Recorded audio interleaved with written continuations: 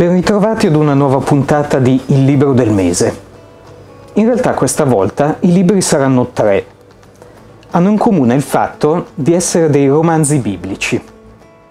Perché scrivere un romanzo sulle storie della Bibbia? Non sono storie note arcinote? Forse, ma ne siamo proprio sicuri? Conosciamo davvero tutti gli episodi, tutte le particolarità del racconto biblico? E in secondo luogo, ogni storia viene rielaborata attraverso la sensibilità del narratore, che talvolta in modo curioso, magari anche apparentemente incongruente, fa emergere un punto di vista particolare, che può fornire degli spunti di riflessione impensati. Il primo libro che vogliamo presentare è chi dice la gente che io sia di Gennaro Matino. La vicenda che è raccontata è niente meno quella del Vangelo. Partendo dall'annuncio della nascita del Battista Zaccaria per arrivare fino alla risurrezione e in modo molto sintetico alle vicende degli Atti degli Apostoli.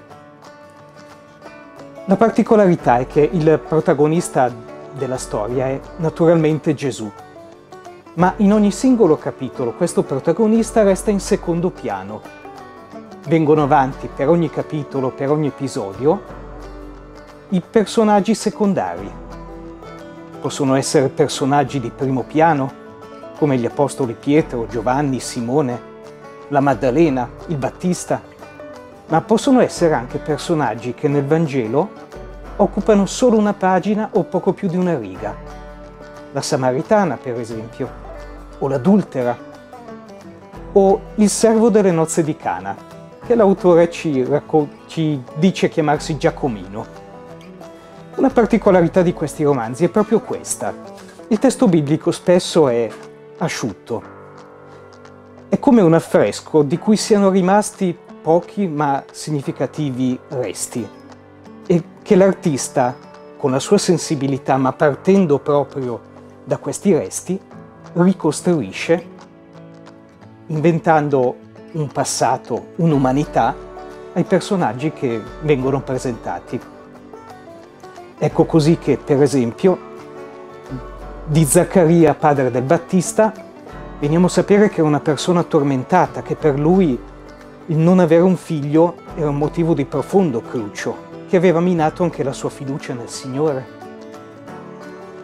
Oppure veniamo a conoscere il passato dell'adultera, di come dalla sua infanzia sia poi giunta ad essere sorpresa in flagrante adulterio.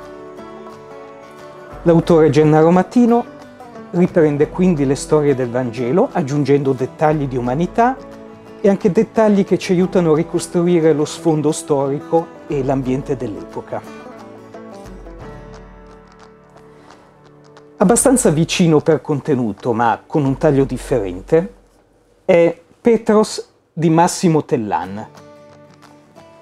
Anche qui l'argomento è il Vangelo, ma sotto una prospettiva un po' diversa. Qui il punto di vista unico è quello dell'Apostolo Pietro. Il libro comincia proprio con Pietro, anziano, nel carcere romano, alla vigilia della sua esecuzione capitale, che ripercorre la vicenda del suo rapporto con Gesù, a partire dalla chiamata per arrivare fino alla, alla, all'ascensione. Ecco quindi che ogni capitolo racconta un episodio del Vangelo o due episodi concatenati. Dal punto di vista però di Pietro, quindi di come lui abbia accolto la novità che Gesù manifestava nel singolo episodio e di come poi, ormai anziano, abbia rielaborato questo insegnamento alla luce di tutta la vicenda di Gesù. Anche in questo caso la figura di Pietro viene ricostruita dall'autore. Veniamo a sapere che per esempio da giovane era rimasto affascinato dai movimenti di rivolta contro i romani, il Vangelo stesso ci racconta che Pietro aveva una suocera, se aveva una suocera doveva essere sposato. Ecco allora che l'autore molto in sintesi ci racconta l'antefatto di come Pietro avesse avuto una moglie, di come questa moglie fosse mancata presto lasciandolo con la suocera. A differenza del romanzo di Matino, Petros lascia un pochino più spazio alla riflessione, al ruminare gli episodi del Vangelo, al trarne un insegnamento, un succo. Gli episodi, non dimentichiamo che tra gli episodi fondanti non c'è solo la vocazione, c'è anche il momento in cui Pietro scende dalla barca e viene fatto camminare sulle acque da Gesù. Questo soggetto della copertina, tra l'altro opera dell'autore del libro. Il terzo romanzo che vogliamo presentare è forse il più originale dei tre. Nostalgia di casa di Ernesto Di Fiore. Più originale intanto per il soggetto. Non siamo nel Nuovo Testamento, ma il protagonista unico è Abramo. E già questa è una scelta felice da parte dell'autore. Il libro della Genesi ci racconta già parecchie cose di Abramo e questi racconti hanno talvolta il, già un gusto di romanzesco. C'è una grande storia d'amore, quella con Sara. Ci sono viaggi, incontri con popoli e personaggi particolari, battaglie, incontri speciali. Ecco, l'autore, come caratteristica di questi romanzi, parte da questi fatti, dal racconto biblico, per costruire il proprio racconto. Ecco dunque che alla figura di Abramo si accostano altre figure, quella di Sara innanzitutto, già nominata, ma anche figure di grande amicizia, col servo Eliezer, con re Abimelech, con la strana figura del re sacerdote Melchisedec. Nella parte centrale del volume poi l'autore aggiunge qualcosa di suo, inventa uno scontro, una lotta tra Abramo e un misterioso leone dalla pelliccia nera che avrà la sua spiegazione nel proseguio del libro. Romanzo dunque, ma non solo. Fin dall'inizio c'è un forte tema di riflessione. Il romanzo inizia con Abramo bambino che parla con l'anziano nonno Nacor, il quale instilla nel suo cuore la nostalgia di qualcos'altro. La famiglia di Nacor è una famiglia di nomadi, nomadi non solo per condizione, per caso, ma perché riconoscono nel nomadismo un qualcosa che è proprio dell'essere umano, un essere in cammino, un essere alla ricerca verso qualcosa di cui sia nostalgia, qualcosa che si cerca incessantemente.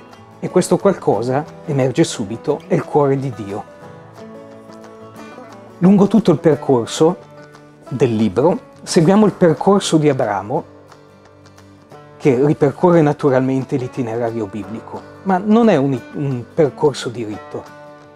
Ci sono dubbi, tentennamenti, qualche sbandamento e la tentazione di creare da sé delle scorciatoie che rischiano di portare fuori strada, ma che vengono poi raddrizzate dall'intervento di Dio. Nostalgia di casa è dunque un romanzo sia molto piacevole sia che dà parecchi spunti di riflessione, proprio partendo da questa figura di Abramo nella quale ogni credente può ritrovare un po' di se stesso. La fine del libro è molto particolare. La vicenda di Abramo, come raccontata nella Bibbia, la conosciamo tutti. Ha questa fine che è degna veramente di un film di suspense, il sacrificio di Isacco. Ma questo sacrificio di Isacco nel libro prelude a qualcos'altro, prelude al fatto che la vicenda di Abramo continua oltre il suo, suo figlio, oltre la discendenza che gli viene promessa.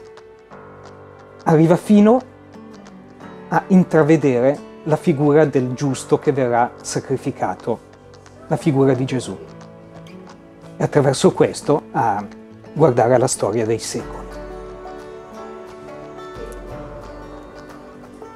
Buona lettura dunque e buona giornata.